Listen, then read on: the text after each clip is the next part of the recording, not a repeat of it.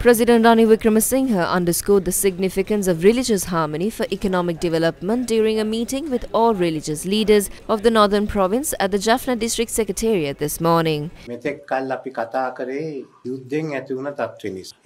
So far, our discussions have focused on the post-war situation. We are working on resolving those issues. The remaining hurdles, particularly concerning missing persons and providing houses, demand decisive action. By 2025, we will collectively bring closure to these pressing matters.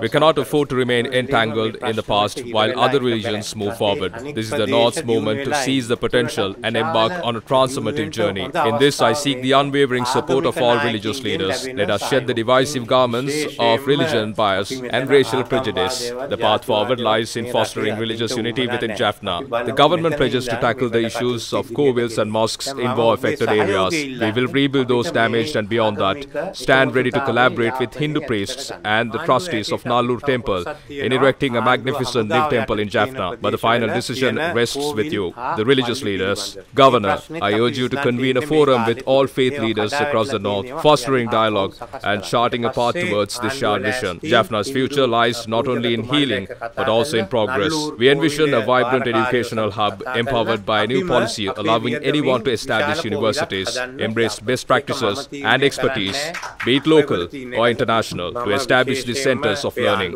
Let Jaffna also become a tech hub, spearheading advancements in artificial intelligence. Your active participation is crucial. This is not my vision alone, but a blueprint for the future. From next year, job creation becomes paramount. Failing to do so will only fuel further unrest. එන අවුරුද්දේ ඉඳන් අපි රැකියාව බිහි කරන්න ඕන. නැත්නම් තවත් උද්ඝෝෂණය රටේ තියෙයි.